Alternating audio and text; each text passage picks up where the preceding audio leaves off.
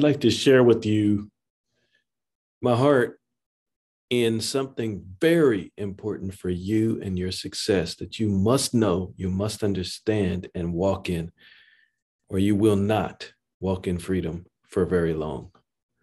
It's called endurance, steadfastness, perseverance, sometimes translated patience, endurance, the ability to stay the course when it's difficult. I want to share some key truths from the scripture. Let's we're going to look at a lot of scriptures. Let's start with the book of Romans chapter 5 verses 1 through 4. He'll thank me for this if you go through the whole thing. It says therefore having been made righteous by faith we have peace with God through our Lord Jesus Christ. Relationship. We're unified as a gift of righteousness.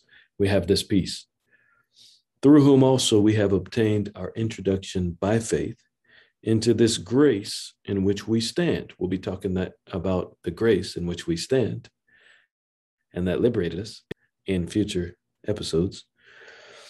And we boast, that's the literal, we boast in hope of the glory of God. In other words, we can see the glory of God is coming in our life, short term and long term. And we boast about it. We can boast in it. We recognize it. It's coming. And we we we we enthusiastically boast. Now let's talking not talking about religious pride type idea. What we're talking about is boasting meaning we're so sure we're certain the glory is coming. And the glory of god is his one way to put it is his nature manifested in the physical realm to the senses and overtaking the physical realm knocking things up making them messy. In other words undoing, overturning what the enemy has done, what humans have done, and him in, coming in and sitting there as king and taking over and just knocking negative things out and smothering people with mercy and compassion and joy and peace and goodness and liberation and just the feeling of liberation that we already have in Christ, all the good things. But anyway, him being his his glory is um, him appearing to the physical senses. And it, it happens in different ways, but the point being is his him, his essence, his nature. We have that coming to us. It's coming. It's coming to us because we now Christ is in us. But we're going to go on here. It says we exult in that, but look at this. It says not only this, but we also boast in our tribulations. The tribulation is an important word to understand. So I'm going to break it down for you. Tribulation means it could also be translated suffering or affliction. So it's negative things that come against us, they oppose us, they stand, they come against us. All right. But he said, in those, while dealing with those things, he boasted no matter what. And he said, we also boast in the midst of those knowing, now this is the key, that tribulation, in other words, affliction, now these are actually temptations. Um, the, the suffering, affliction, tribulation, the temptation to doubt, temptation to fear, temptation to quit, temptation to have unbelief or to accuse God, or there's so many possibilities, but it's a temptation also. Anyway, he says, knowing that tribulation brings about endurance in other words, if you don't have any opposition, then you will never endure. And endurance is very important because it says endurance brings about approval, is the literal. Approval. Approval means you pass a test. You're shown, your character is proven. You're shown worthy of a reward, of praise, of moving to another level or dimension in life spiritually. So approval is also something we want. We want to gain approval. Now, just teaching very thoroughly here, there is an approval that comes from being in Christ. approved in Christ. The Bible says in the book of Romans, elsewhere. We are imp- approved in Christ. Actually, I think it's Second Corinthians, but regardless, we're approved in Christ. We're beloved. We are accepted in the beloved, highly favored in the beloved. All that happened for free because we were put in Christ. But there's also no approval that happens for passing our tests, for enduring beyond the time of temptation, beyond the time of testing. When we do, we receive approval. That approval is visible in the physical realm. It blesses our life. Things change. We grow. We flourish. Amazing things happen. And it's approval. In other words, God stamps passed. You don't have to take that class again and move on to the next because we're in training. This whole life is is that. So approval is what we're looking for in this whole thing. We're not looking to just have the free aspect of being in Christ and then just live a life of defeat or not passing tests. No, it's, there's opposition. So either we're passing our tests or we're not passing our tests. Either we're growing or we're stagnating, going backwards. And we don't want that. We want to go forward. Any true child of God, unless they're deceived, wants to go forward. And so, as we, the thing is, for that, we need tribulation. That's what it said right there. So now we're going to get into this more because you got to understand the whole the whole aspect. But this is tribulation for the sake of endurance. In other words, it's not based on ignorance. There is a suffering that comes from ignorance, and that's alleviated by the word of God, by the truth, by growth, by exposure to really good truth and that takes time too and patience sometimes for sure patience but there's also uh, suffering that comes from foolishness we don't want that ever and uh, painful or, or naivety or other things but i'm sharing with you this is the suffer the tribulation that comes and it brings about endurance and it says endurance brings that proven character in other words um, approval and approval hope in other words once you get approval, boom, it is so awesome. And it sets in your mind a good image about the future that you're going to get approval again. You know, you can do this. You passed the test, wasn't as hard as you thought it was. Even if in the end you're like, whew, that was hard. No, you've passed. That means you were harder, you were stronger, you were more powerful than anything that could be thrown at you. And then you're going to keep enlarging your strength, more room has been made for more capacity of the glory of God. So you can just use it to help people and to increase and grow and you know meet your your destiny and all those things. It's just amazing. And then you also have a more steadfast hope. You look in the future and you say, I got this. And that's important. So these are things that come through endurance. Um, it says in the book of Hebrews, it says, it is for um, it is for discipline that we endure. In other words, the, the word discipline there doesn't mean like you did wrong and you get a spanking. It's talking about training. God is training his own, his children. His we're sometimes called in the Bible athletes. We're his athletes. He's training us. We're on his team because he wants us to be the best. And so we endure for that purpose. So don't feel like it's a it's a um, strange thing. That's what First Peter says about it. It says, "Do not be surprised." As if some strange thing happened to you. Don't be surprised that the burning is what the literal is that comes upon you for your testing. And then it says, but rejoice insofar as you share the sufferings of Christ, so that when his glory is revealed, we're talking about his glory, it's revealed now in stages. It's going to be revealed fully when he comes back. But he said, when it's revealed, you will rejoice with exceeding joy. And that's the approval, that's the glory, all that stuff it is it is a cause and effect. You pass your test you get it. You know it's not that you know our basis is the grace of god free freely given and we were put in christ by god and it was through faith we simply heard the message believed and gave our life to jesus. So we can't claim any boasting on that. That's our foundation. That brought us into christ. Now what are we going to do with it? Paul said, Receive not the grace of God in vain. That means the grace is a foundation, and now we need to work Work while it is day, Jesus said. For night is coming when no man can work. So work is good. It's just as long as it's not out of context, but we're working because we were recreated in Christ for good works that God has appointed for us to walk in. That's what it says in Ephesians 2:10. So the good works is on the path of our destiny and they're exhilarating and but there's a learning process too. So we're learning through endurance.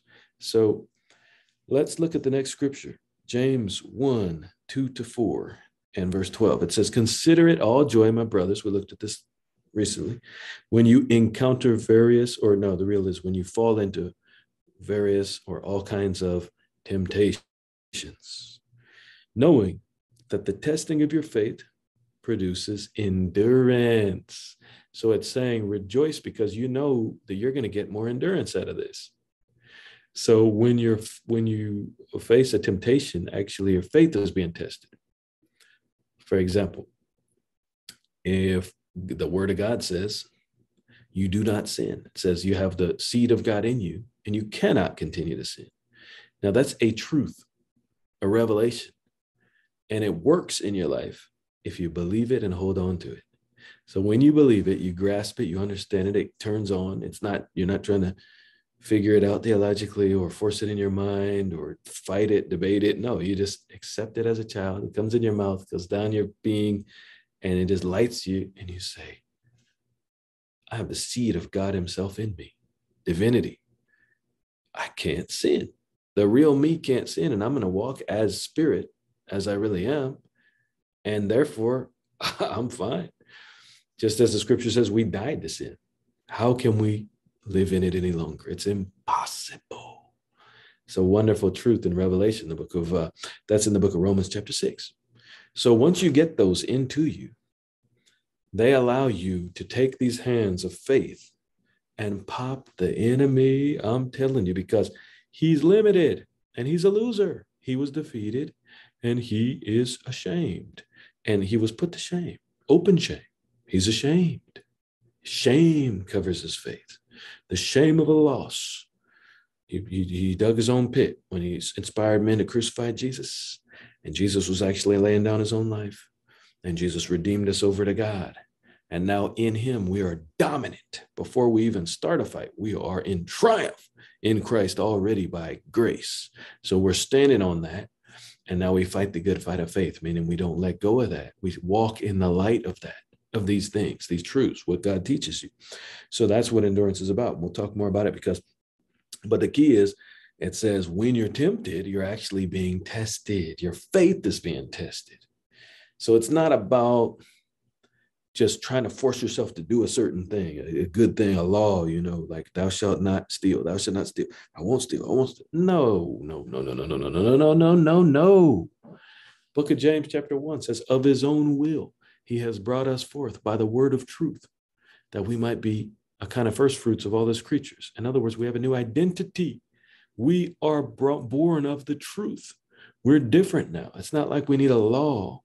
We need truth, enlightenment. The truth comes through speak teaching, through preaching, through reading the scriptures. The truth enlightens us. The eyes of our understanding are flooded with light. Book of Ephesians and then we can walk on another path straight. And that's why it says in Proverbs, it says, He who has understanding walks straight. You see, enlightenment, God's word, God speaking, God opening our eyes, and He does it for us every single day. And we're going to get to that scripture. Paul said, My mind, my inner man is being renewed day by day. Jesus said, Man doesn't live by bread alone, but by every word that comes from the mouth of God. How often do you eat food? Unless you're fasting, you're eating every day. Same thing with this, not just the Bible. It is the Bible, it's in the Bible, but it's the living word of God. When you're listening to me right now, truth is coming to you, it's flooding you.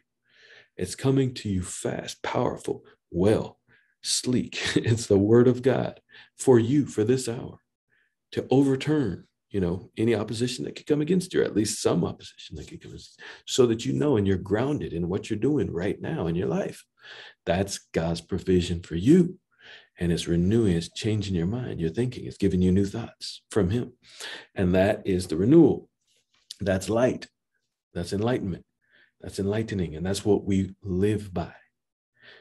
So we feed on that. And that's how we can then walk straight. So what I'm getting at is when we walk according to the light, when we our eyes are fixed on the truth of the light of the gospel, in other words, we're walking by faith, not by sight, then we cannot sin, we cannot fall, and we pass our tests. Our faith is being tested when we're tempted, and when we're facing uh, affliction, tribulation. That's a lot of that is temptation. Another one might be persecution for doing well in life, outshining the enemy and the, the, the, the people, and then you get persecuted, and it's an opportunity for glory future, more glory because you're going to pass that test and you cannot be tempted with persecution or or uh, you know some kind of temptation to do wrong. You can't be tempted beyond what you're able. If you're walking according to spirit and according to the love for god if you're loving god you can't be because he works out everything for the good of those who love him you cannot be tempted beyond what you're able. It says he will provide the way of escape so that you can stand up under it. And what is the way of escape? We talked about it before. It's light that's going to come to you as you seek it in that in that hour beforehand of course you got to prepare but in the hour when you fall into not sin i'm not talking about sin fall i'm talking about when you fall into various temptations your faith is being tested there is an appointed and attached escape route for you to take an elevator system of the word so that when you walk in, the door closes, the word, you're encapsulated in the truth of the word, and you're going up fast. And you are breaking through any and all limitations, and you're going to a place you've never been before because um, you're passing a test. It means you're advancing to a higher, new place with Him. Your relationship is clear, the atmosphere clears you enjoy his voice better, more. You experience more. Your body experiences more. Your body on earth of the glory of God that comes through you. So it's wonderful how this all works. But now, this is what I want to share with you. You see, because he's a good father, he's training you. All right. So I think we'll go back to the verse.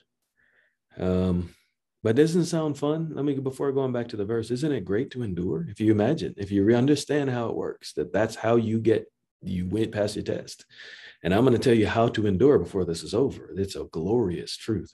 But if you can endure, and you can, if you do endure, you're going to experience so much peace. You're going to experience the glory of God. You're going to experience so many benefits.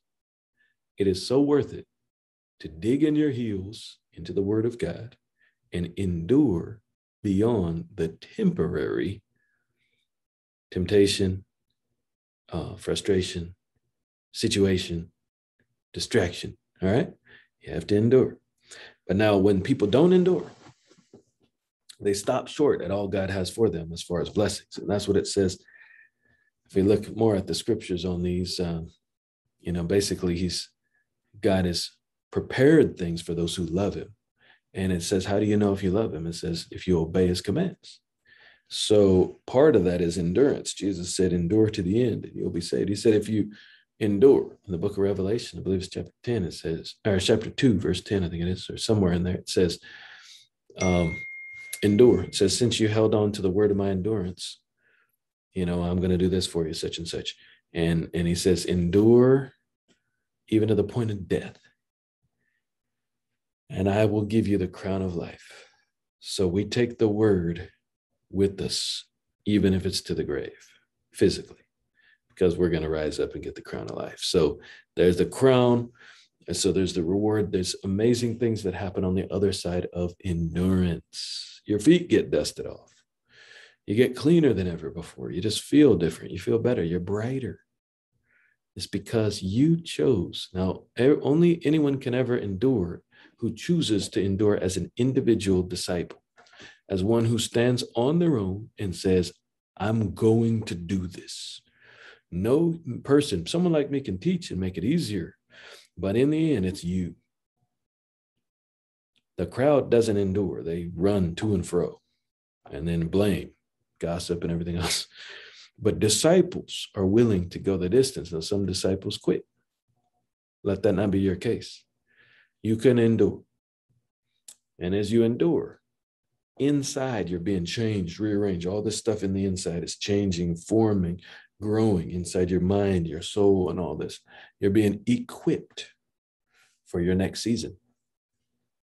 The real you is coming out and emerging, the spirit you, the Superman is coming out and it, it, it has no knows knows no bounds and you're learning to lit to lean on really to walk as him or her spirit rather than as your past experiences leaning on things that lessons that you've learned or things that you think you have down you know as far as control and you know we've always done things no no that's not what god's looking for he's looking for us to go from glory to glory and that is in our future Say with me, glory is in my future. I, re- I boast in the hope of the glory of God. And then if a tribulation comes along, I boast in its face too and say, because I'm still, God's going to work it out for my good. Okay, so I've spoken long on that. And uh, I think what I'm going to do is break this into another segment for you.